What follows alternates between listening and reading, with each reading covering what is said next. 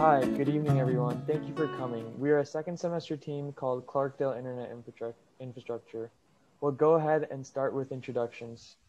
So our team is comprised mainly of our junior students, Zach Smith and Jack Devaney, who are computer science and mechanical engineers respectively, along with me, a freshman. Uh, I'm, uh, my name is Sai, and I'm a computer systems engineer here at ASU, along with uh, our partner, Nicholas Wise, who's a civil engineering sophomore. Um, Rishik is our leader, and he is a computer science student, freshman here at ASU as well. So I'll talk about some of our key stakeholders. Stakeholders. Our project started off as a joint partnership between ASU Project Cities and the town of Clarkdale. Project Cities is an organization here at ASU that works to connect people in the university with cities across the state to help them fulfill their sustainability goals. They have facilitated a relationship with the town of Clarkdale and now are primarily working with the team. Our group mainly interacts with Tracy, who's the town manager of Clarkdale, and this semester we have decided to focus our project on helping Clarkdale maximize its transition back to normality and assess the current broadband infrastructure to make Clarkdale more resilient. So here's a bit of a little background on Clarkdale. So it's located in the northern region, northern central region of Arizona, near Prescott, Sedona, and Cottonwood, a remote area uh, surrounded with mountains and forests. I'd like to point out that it was founded approximately over 100 years ago in 1912. So it's a very historically rich community and it comprises of uh, a rich history that is reflected in its culture. Uh, Clarkdale has a very prominent historic identity. They were Arizona's first planned community. You can see in these pictures that Clarkdale has been around for quite a while, and that history is a very much an important part of their culture there. But you, but what they want to do now is bring the town into the 21st century. So that means bringing a new infrastructure to provide reliable internet for the entire town. They already have some existing infrastructure, but it's a very sparse and unreliable at times. So our goals was to provide reliable internet to the town and its residents, specifically their small businesses and students. Now that we're done with the basic introductions, let's get down to the main problem here. So when we spent the first few weeks of the semester working with our community partner to gather new information regarding uh, to identify all the necessary factors and obstacles that we need to address so that the students and residents of Clarkdale can have better internet access. So these following slides will go in detail over all the information that we have found and gathered throughout the process. On a broader scale, the recent events have presented the town with the perfect opportunity to update their internet infrastructure. Along with online school, it has become increasingly clear how integral internet is in our lives. We use it for our jobs, networking, school, etc. While there is an internet put in place, they would like to improve it so students and people of Clarkdale can get the internet needed to access real-time streaming and education. So this is how we are going, we're supposing to narrow a scope for the semester. While we would love for our goal to be able to provide internet for the entirety of the town, this unfortunately is not feasible. We hope to instead help the residents in a more significant way, which we realistically can. So for this, first we seek to ensure that any resident is able to obtain and ensure free access to the internet by inspecting the internet capabilities of the town clubhouse, which will act as a major hub for the residents who cannot otherwise obtain stable internet connections. This is a problem statement we settled on for this semester. Our goal is to discover a reliable and farther reaching internet solution that effectively serves the students and residents of the greater Clarkdale area. So here are some of the current measures that we have worked with Clarkdale to ensure that we can provide temporary stable internet. So as previously mentioned with the COVID-19 pandemic unexpectedly closing down on schools across the country last March, online school became a necessity to keep our children educated. This is one of many highlighted uh, uh, aspects, and one of them is that internet, high-speed internet, uh, is necessary for individuals of all households. Schools have only opened recently, and although uh, residents have been able to attend classes in person, the necessity of uh, increased internet speeds uh, and access for residents is pro- still prominent, and the town clubhouse still acts as a major hub for ensuring stable internet connection for residents across the town. After gathering information from our community partner and making a plan, we, sit, we decided that this project can most likely be finished this semester. The remainder of the semester will be broken down into three phases. The first phase being collecting data from the town clubhouse. Phase two is assessing whether the, bro- the bandwidth of the current Wi-Fi can occupy the number of students that will be on the Wi-Fi at once. And phase three is applying for federal funding if needed so the Wi-Fi at the clubhouse in Clarkdale can be upgraded at no cost to the people. After meeting with our community partners, we discovered that most of the residents of Clarkdale rely upon the internet of the town clubhouse for access, and the building will also be home to numerous large events in the future, making the demands on bandwidth rather large. We would like to gather information on the town clubhouse and the bandwidth latency obtainable there we hope to, with this information, uh, create an assessment of the approximate bandwidth used by a single user, empirically demonstrate whether or not the town clubhouse can be expected to meet these demands.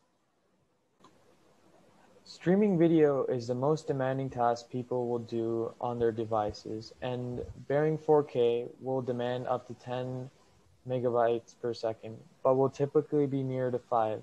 Typical browsing shouldn't be consistently passing three. We still need to gather information on how many people could be using the routers at once after getting all these Clarkdale internet speeds. Um, furthermore, we need to find out what routers are being used so that we can deem them as not being a part of the system being bottlenecked or find out they may be. So assuming that the routers are not the main cause of the bottleneck, any expected average occupancy of over 20 people would in, be indicative of a necessity for improved bandwidth. This number is more like 10 if we assume students will be using it with Zoom for the online classes. This is so because it would imply that the 8 megabytes per second limit is being induced on the building's outbound connection after the routers meet, that rather than the individual routers. Since we know that both the bandwidth of the current Wi-Fi, uh, the amount of people on the Wi-Fi at once, and the bandwidth usage of the average user, we can begin phase two. We must assess whether the current Wi-Fi can hold the maximum occupancy. If it can, we must evaluate whether to upgrade the current Wi-Fi or increase the number of routers to ultimately have the bandwidth needed. After assessing the collected data, we will present our data and research to the Broadband Action Team in Clarkdale, who are working in coordination with professional consultants and advisors. Along with this, we will deliver research into federal funds for which Clarkdale may be eligible. This data will also be used by the Broadband Action Team in help for applying to federal funding, which will hopefully be the path toward a long-term solution for Clarkdale. So here are some important grants and loans that we found for phase three. And the first one is called the Reconnect Loan and Grant Program.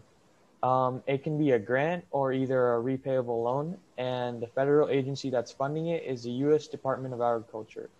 To be eligible, you need internet speeds of up to 25 MB, uh, Mbps or slower in 90% of the area where the proposed infrastructure would be built under the city's proposed plan. This means that the city needs to propose a plan along with an application. It is possible to receive up to 25 million in grants and 50 and 50 million in a 2% interest loan. The next grant that we found uh, interesting was the Small Rural School Achievement Program, which was specifically focused on the Clarkdale Jerome School. And the, uh, the funding type is a grant, and the funding agency is Department of Education. Uh, the eligibility is uh, K through 12 schools in rural areas, which the Clarkdale Jerome uh, School meets. And this program is intended to be for small scale improvement projects with the amount of funding dependent on the specifics of the project. This includes extending utility lines over short distances and making alterations to existing infrastructure. And uh, the next grant that we found to be useful is the Improving Basic Programs operated by local educational agencies. The funding type is a grant. Um, the federal agency or bureau that's uh, funding it is the Department of Education. Um, and this uh, grant uh, provides financial assistance to local educational agency and schools with high numbers or high percentage of children from low income families.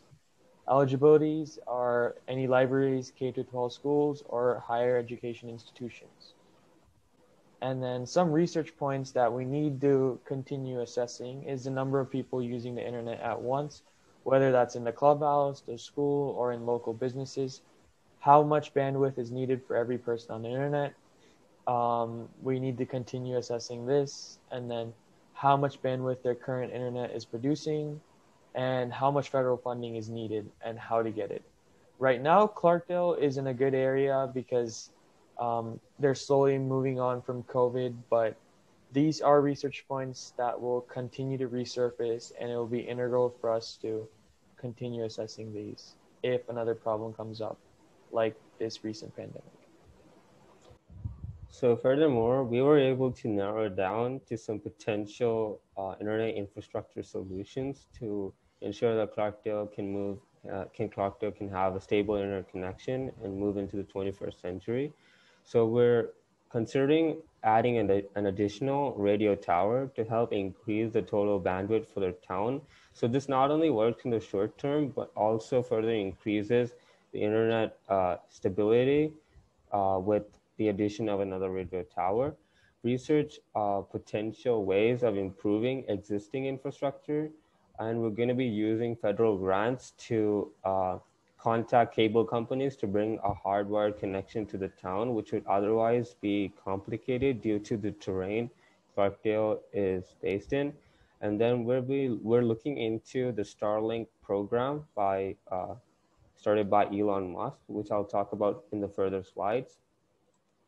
Now we're going to speak about why wireline technology is not the way to go.